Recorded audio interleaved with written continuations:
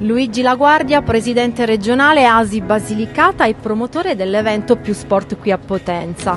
Allora Luigi, intanto questa bella manifestazione si svolge nel centro storico di Potenza che oggi diventa, anzi ieri, è già diventato un villaggio sportivo a cielo aperto.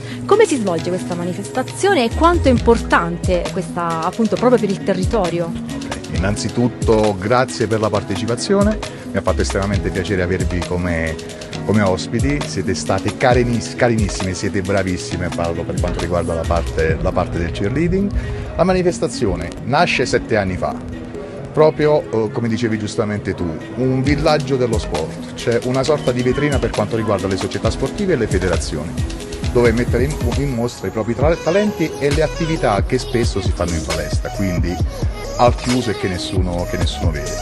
Questo è lo scopo. Siamo cresciuti in questi sette anni, questa è la settima, la settima edizione. Siamo stati anche capaci di farlo l'anno scorso, anche se in un periodo diverso da giugno a settembre, in un periodo pandemico e quindi con tutte le difficoltà, però ci è andata, ci siamo riusciti. E poi abbiamo, eh, abbiamo, l'abbiamo riproposta quest'anno, quest'anno a giugno. Partecipano circa 170 società sportive sono 40 le federazioni sportive, eh, noi come ente di promozione sportiva in più, sia come coorganizzatori e partecipanti al, come ASI all'iniziativa e niente, poi abbiamo la cornice del centro storico che, di Potenza che credo parli da sola e vi ha leggermente impressionato. Ecco. Sicuramente. Allora Luigi ci dai qualche piccola anticipazione sul prossimo evento che si terrà a settembre? Ok, sì, siamo in fase realizzativa, abbiamo presentato un progetto alla Regione Basilicata per quanto riguarda l'anno europeo dei giovani.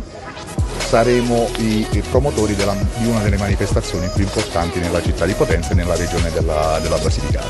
Logicamente sulla falsariga della uh, manifestazione che stiamo svolgendo, quindi coinvolgendo, coinvolgendo, tutte le società sportive e le federazioni, in più aggiungendo due aree tematiche che a noi toccano particolarmente, che sono il bullismo, quindi il contrasto al bullismo, e il contrasto al, all'alcolismo, quindi al consumo di alcol quindi da parte dei temi giovani. significativi, ecco. Assolutamente. Allora, da più sport è tutto, alla prossima edizione. Grazie.